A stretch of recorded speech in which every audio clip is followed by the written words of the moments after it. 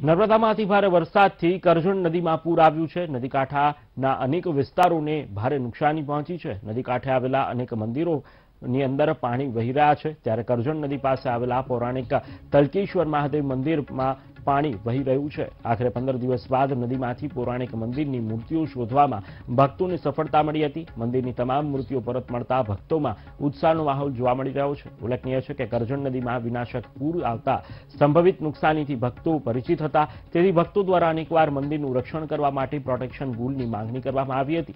પરંતુ તંત્ર દ્વારા આ અંગે કોઈ કાર્યવાહી કરવામાં નથી આવી, જેને લઈને ભક્તોમાં ભારે રોષ પણ જોવા મળી રહ્યો છે. તથા ભક્તો વહેલીમાં વહેલી તકે મંદિરના રક્ષણ માટે પ્રોટેક્શન વૂલની માંગ કરી રહ્યા છે.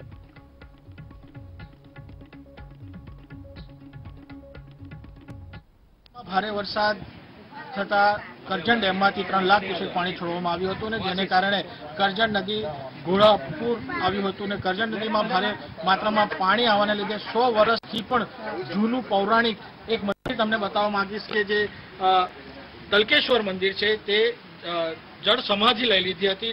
કરજણ નદીની અંદર તમામે તમામ મંદિર મુખ્ય મંદિર પણ તણાઈ ગયું હતું અને ભગવાને જાતે સમાધિ લઈ દીધી. ત્યારે ભક્તોમાં થોડો રોષ પણ જોવા મળ્યો હતો અને મંદિર અને જે અવશેષો છે તેની શોધખોળ પણ છેલ્લા કેટલાક દિવસથી કરતા હતા. ત્યારે આજે ભક્તોને સફળતા મળી છે અને આજે તમામે તમામ મુખ્ય ભગવાનથી લઈ અને બાકીની તમામ મૂર્તિ નદીમાંથી મળી આવી છે.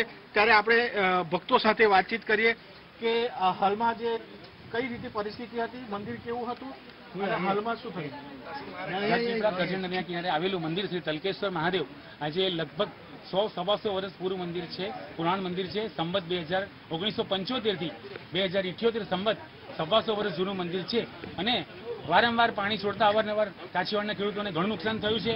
બે હજાર તેર બે હજાર અઢાર બે હજાર એકવીસ અને બે હજાર બાવીસ આટલી વાર, અનેક વાર સરકારને વિનંતી કરતા પ્રોટેક્શન વાળની અમે ઘણી વાર વિનંતી કરી છે, પણ એમને કોઈ પણ અમને સાથ સહકાર કર્યો નથી. તો સરકારશ્રીને એ જ વિનંતી છે કે આ જૂનું પુરાણું મંદિર છે અને એના તમામ અવશેષો ભગવાને મંગળવારે જળ સમાધિ લીધી અને તમામ અવશેષો નંદી, ગણપતિ દાદા, હનુમાન દાદા, પાર્વતી માતા, શંકર દાદા દાદા તલકેશ્વર મહાદેવ બધા મળી રહ્યા છે સહપરિવાર સાથે. તો તમામ હરિભક્તોએ તન મન ધનથી દિલથી મહેનત કરી છે અને આ પરિવાર મળ્યો છે. આજે બધામાં ખુશાલીનો આનંદ છે ઉમંગ છે હર્ષનો ઉલ્લાસ છે.